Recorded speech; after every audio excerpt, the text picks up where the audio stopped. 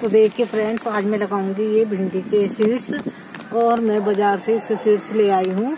और इसमें चौड़े से मैं इसमें मतलब ये देखिए चौड़े से पोट है ये थर्माकोल के, इनमें सीडलिंग करूँगी। तो अब मैं पहले इसको देख लेती हूँ काट के कितने सीड्स हैं, फिर सारे इसमें मैं इनमें सीड्स डाल दूँगी। तो देखिए मैं पहले ही इनमें पोट में मैंने पानी डाल दिया है, जिससे कि अब मुझे बाद में पानी नहीं डालना पड़ेगा, अच्छे से मैंने गिले कर दी है। और ये देखिए मैं सीड्स इसमें डाल दूँगी फ्रेंड्स अभी मैंने अपने थोड़े से सीड्स ले लिए हैं, ज़्यादा नहीं लिए हैं, क्योंकि थोड़े से सीड्स ग्रो करूँगी।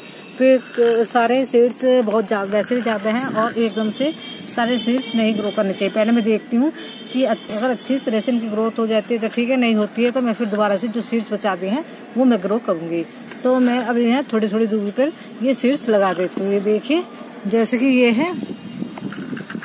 अब मैं हाथ से भी ऐसे भी लगा सकती हूँ। देखिए, ये ये मैंने ऐसे लगाया, हल्की, क्योंकि भुरभुरी मिट्टी ऐसे दबा दिया, ये देखिए। और ऐसे लगाया और ऐसे दबा दिया, हल्की सी क्योंकि मैंने मिट्टी पहले गीली कर रखी है तो इस वजह से, ये देखिए, और यहाँ पर भी मैंने इस तरह से लगा दिया है।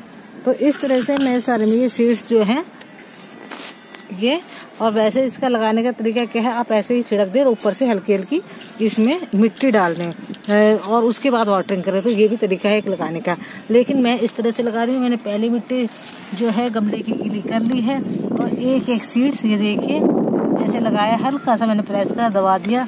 और इसी तरह से ये ये देखिए, और ये देखिए, और इस तरह से मैं सीड्स हल्के हल्के हाथ से लगा रही हूँ। तो बहुत ही ये इजी है सीड्स लगाने, कोई मुश्किल नहीं है।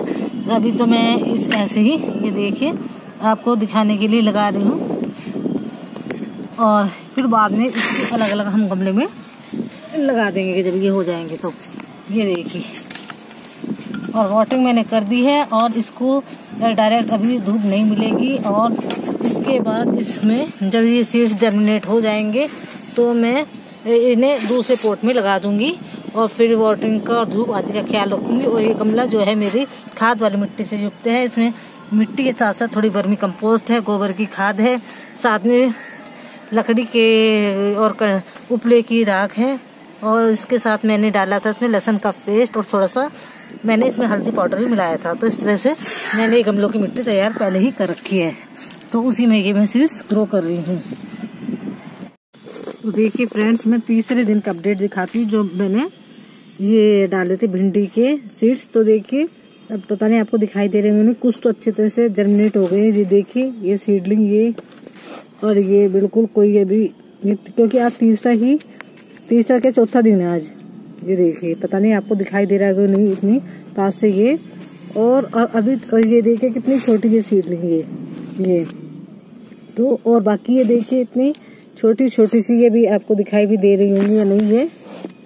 दिखाने की तो मैं कोशिश कर रही हूँ। ये भी उगाए हैं और ये देखिए, अभी कुछ उगने भी वाले हैं ये। ये देखिए, ये ये। है ना? ये इसे इतने पास से देखे भी अंकुर फूट बाहर नहीं निकले हैं ज़मीन से और अंकुर फूटने वाले हैं। तो कुछ उग चुके हैं और ये, और कुछ उगने वाले देखिए कितनी छोटी छोटी सी सीपलिंग आपको दिखाई दे रही होंगी ये।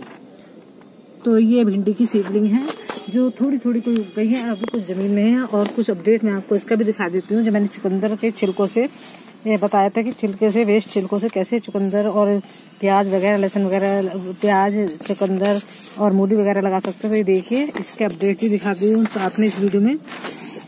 ये देखिए, इतनी इतनी इसमें लेसू निकल गई है, चुकंदर के अरे अभी ये देखिए, ये प्याज का छिलका है, यहाँ भी है। अभी इसमें कुछ मतलब लेस नहीं निकले हैं। अब जो दूसरी जगह मैंने प्याज के छिलके लगाए उसमें हल्का के लीव्स निकल गए हैं। देखिए, इस तरह से मैंने इसके ऊपर नेट ये रख दी है। मेरे पास बेकार पड़ी थी गाड़ी की नेट तो ये ये देखिए, इसके ऊपर ढक दिया जिससे डायरेक्ट धूप इस पर नहीं पड़ेगी, क्योंकि ये रूफ टॉप पर है। ये देखिए मेरा थर्माकोल का पोट जिसमें कि मैंने भिंडी की सीड्स लगाए हैं। तो अब तेज धूप होने लगी है तो इसे बचाने के लिए मैंने इसके ऊपर ये नेट ढक दिया है। और इसका फिर जो भी अपडेट बाद में होगा, वो भी मैं आप लोगों के साथ शेयर करूँगी।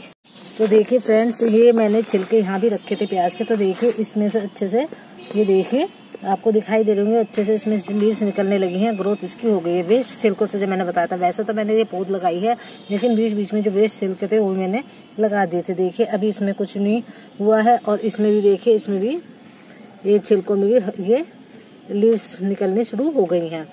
तो ये बहुत ही आसानी से ग्रो हो जाते हैं प्याज के छिलकों से, और ये शलजम के छिलकों से भी, और इस तरह से ही चुकंदर वगैरह से भी वेस्ट से हम ये प्राप्त कर सकते हैं।